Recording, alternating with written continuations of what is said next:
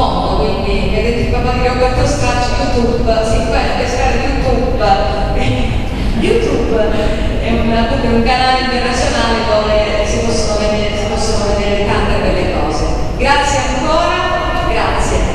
Allora, sarà un video di questa bellissima eh, fondazione, associazione di volontariato del bambino Roberto. Io leggendo questa frase, l'umiltà è essere grandi, ma sembrare piccoli e fare buone cose, essere una brava persona e non vantarsene, essere sempre a livello degli altri, diciamo l'opposto dell'arroganza, è quella qualità che ti fa star bene con tutti e che permette a tutti di star bene con te. Sono delle parole che ha scritto Roberto e che ce le dobbiamo appiccicare nella nostra mente, perché sembrano delle parole scritte,